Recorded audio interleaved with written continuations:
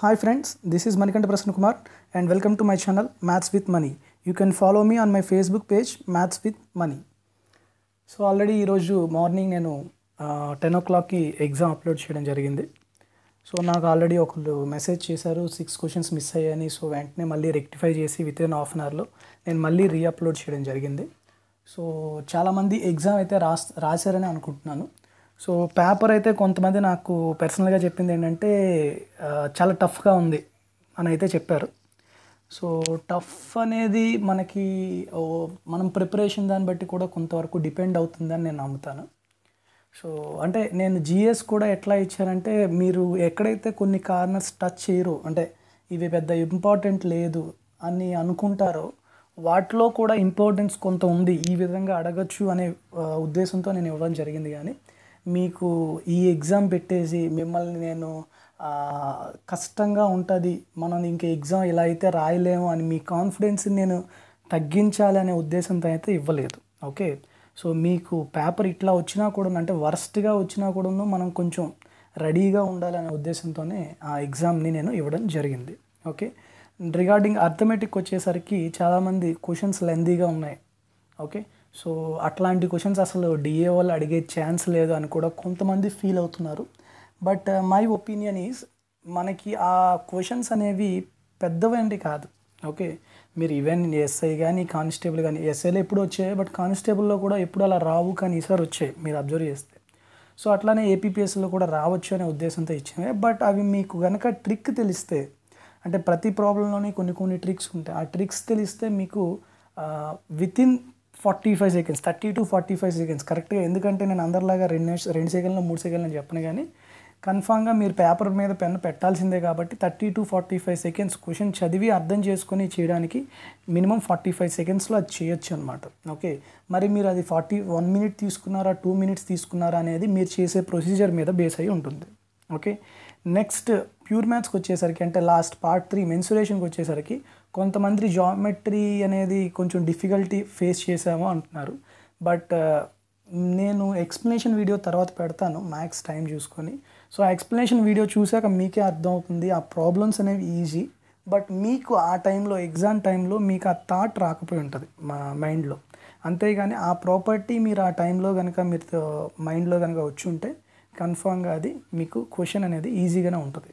Okay but regarding this video ఈ video దేని గురించి అంటే మిస్టేక్స్ ఇన్ ద పీడిఎఫ్స్ నేను ఆల్రెడీ మీకు చాలామంది పర్చేజ్ చేశారు ఫైవ్ పీడిఎఫ్స్ ఏవైతే నేను చెప్పానో logarithms polynomial theorem and what about statistics matrices sets relations and functions ఈ ఫైవ్ పీడిఎఫ్స్ని చాలామంది పర్చేజ్ చేశారు.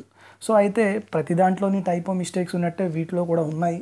సో నేను అప్పటికి రెక్టిఫై చేస్తున్నప్పటికీ కొన్ని కొన్ని కొన్ని కొన్ని చిన్న చిన్న ఉండడం జరిగిందనమాట. సో అందువల్ల నేను ఆ పీడిఎఫ్లో ఏవైతే మిస్టేక్స్ ఉన్నాయో ఆ మిస్టేక్స్ని ఒకసారి నేను చెప్తాను. సో ఎవరైతే పర్చేజ్ చేశారో పర్చేజ్ చేయని వాళ్ళ గురించి కాదు పర్చేజ్ చేశారో వాళ్ళు ఒకసారి ఈ పీడిఎఫ్లో ఎక్కడైతే మిస్టేక్స్ ఉన్నాయో ఒకసారి చూసుకోండి. తర్వాత మీరు మళ్ళీ ఆ పీడిఎఫ్ని చూస్తున్నప్పుడు ఇంకేమైనా మీకు మిస్టేక్లా అనిపించినా లేకపోతే మీకు ఏమైనా డౌట్ వచ్చినా అంటే ఇదేదో తప్పుగా ఉంది అని అనిపించినా నాకు వాట్సాప్లో పర్సనల్గా మెసేజ్ చేస్తే నేను ఒకసారి చూస్తాను. అది కనుక మిస్టేక్ ఉంటే నేను మళ్ళీ వెంటనే మీకు దీ ఈ వీడియో కింద కమెంట్ సెక్షన్లో నేను అది కూడా మిస్టేక్ ఉంది అని చెప్తాను. ఎందుకంటే నాకైతే ఇంతవరకు ఇవి తెలిసాయి. ఒక ఫోర్ మిస్టేక్స్ తెలిసాయి. అవి మీకు చెప్తాం అనుకుంటున్నా. Okay so let's start our main video that is mistakes in the PDFs so first లాగరిథమ్స్లో చూసుకుంటే ఒక క్వశ్చన్ అనమాట అది. One by log eight to the base twenty four plus one by log three to the base twenty four one by log six to the base twenty four and one by log four to the base twenty four ఇక్కడ base అనేది twenty four ఉంది అది నేను ఇచ్చిన mistake so ఇక్కడ ఏంటంటే twenty four base ఉండదు twenty four అనేది ఇక్కడ ఉంటుంది okay one by log twenty four to the base eight one by log twenty four to the base three one by log twenty four to the base six plus one by log twenty four to the base four so అది ఇక్కడ topic అనమాట అంటే మీరు question అనేది ఇక్కడ నేను ఏదైతే mistake ఉందో ఇది తప్పు క్వశ్చన్ అనమాట ఇది కరెక్ట్ క్వశ్చన్ ఓకే సో ఇది లాగర్దెమ్స్లో నాకు తెలిసిన మిస్టేక్ అనమాట నేను తెలి తర్వాత నాకు కొంతమంది చెప్పిన తర్వాత నాకు అనిపించింది ఎస్ ఇది నేను మిస్టేక్ టైపింగ్ మిస్టేక్ తప్పు చేశాను అని. ఓకే నెక్స్ట్ నెక్స్ట్ క్వశ్చన్ మనకి స్టాటిస్టిక్స్లో స్టాటిస్టిక్స్లో ఎక్కడ మిస్టేక్ అంటే నేను positive skewness negative skewness okay రెండింటికును నేను ఒకటే రాసేసాను అనమాట if the tail of the curve of frequency distributes along elongates more on right and రెండింటికి పెట్టేశాను. So that is the mistake for positive it along more on right and for negative it elongate more on left left side okay that is one thing in statistics okay next mistake is matrices మ్యాట్రిసెస్లో ఉన్న mistake ఏంటంటే ఇది.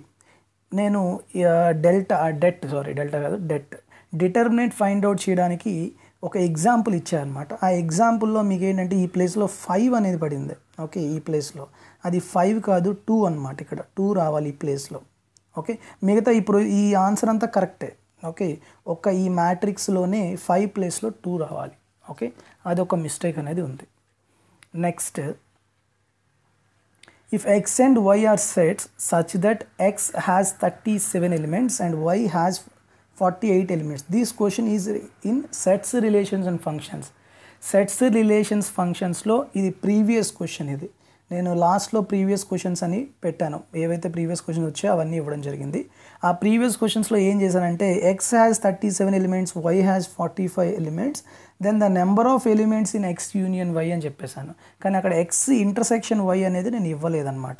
Okay అక్కడ అది typing చేయడం చేయలేదు మర్చిపోయాను so ఆ X intersection Y value అనేది ఫోర్టీన్ సో అదొకటి మీరు నోట్ చేసుకుంటే సరిపోతుంది. So these are the four mistakes I found on those five PDFs okay so in those PDFs these are the five mistakes ఇంకా ఏవైనా ఉన్నా మీరు కూడా నాకు చెప్పండి. నేను కూడా నేను మళ్ళీ ఒకసారి చూస్తాను. నాకు మళ్ళీ ఏమైనా పీడిఎఫ్స్ వాటిలో ఏమైనా రెక్టిఫై చేయాలంటే నేను చేసి పెడతాను. తర్వాత నాకు ఒక వీడియో కింద కమెంట్ సెక్షన్లో ఒక అతను పెట్టింది ఏంటంటే మీరు బ్లాగ్లో పెట్టిన పీడిఎఫ్స్ ఏవైతే ఉన్నాయో చాలా వరకు డౌన్లోడ్ అవ్వట్లేదు అని ఒక అతను చెప్పడం జరిగింది. నేను ఒకసారి అది మళ్ళీ ఒకసారి చూస్తాను. చూసి ఎందుకంటే నాకు నెట్ మీద కానీ ఎడిటింగ్ మీద చాలా తక్కువ అవగాహన ఉంది. ఓకే? నాకున్నంత మేరకు నేను అది చేయడం అనమాట సో ఏమైనా మిస్టేక్స్ ఉంటే మాత్రం నేను ఒకసారి వీలైనంత వరకు ఫాస్ట్గానే రెక్టిఫై చేయడానికి చూస్తాను. సో ఏవైతే పీడిఎఫ్స్ డౌన్లోడ్ అవ్వట్లేదో వాటిని ఒకసారి నేను మళ్ళీ చూసి ఆ లింక్స్ ఏవైనా అప్గ్రేడ్ అంటే మిస్ మిస్ అయి ఉంటాయి. అందువల్ల అవి డౌన్లోడ్ అవ్వట్లేదేమో. సో ఒకసారి నేను చూసి మళ్ళీ ప్రతిదిను మళ్ళీ రీఅప్లోడ్ చేయడం కానీ లేకపోతే అక్కడ లింక్ కానీ లింక్ చేంజ్ చేయడం కానీ చేస్తాను. ఓకేనా? సో ఈ వీడియో ఈ పీడిఎఫ్లో ఉన్న మిస్టేక్స్ ఇప్పుడే పెట్టడం ఎందుకంటే మీకు ఎగ్జామ్ కూడా దగ్గరగా ఉంది కాబట్టి ఏవైతే మిస్టేక్స్ ఉన్నాయో వెంటనే అవి నేను మీకు చెప్పాలనిపించింది. అందుకని ఈ వీడియోతో మీకు నేను ఇన్ఫామ్ చేస్తున్నాను okay? All the best and next in the evening or night light లోపల నేను ఇంకొక వీడియో పెడతాను. దట్ ఈజ్ ఆఫ్లైన్ బ్యాచ్ అంటే ఒక కోర్స్ స్టార్ట్ చేద్దాం అనుకుంటున్నాను ఆఫ్లైన్ కోర్సు సో దానికోసం నేను ఒక వీడియో మళ్ళీ పెడతాను. అది ఒకసారి చూడండి దానికి కూడా మీ రెస్పాన్స్ ఒకసారి ఇవ్వండి. తర్వాత ఎవరైతే ఎగ్జామ్ రాస్తున్నారో మీకు వచ్చిన మార్క్స్ను కూడా షేర్ చేయండి. మార్క్స్ షేర్ చేయడంలో మీకు తక్కువ వచ్చినా ఎక్కువ వచ్చినా కూడాను మీరే కాన్ఫిడెన్స్ లెవెల్ తగ్గించుకోవద్దు.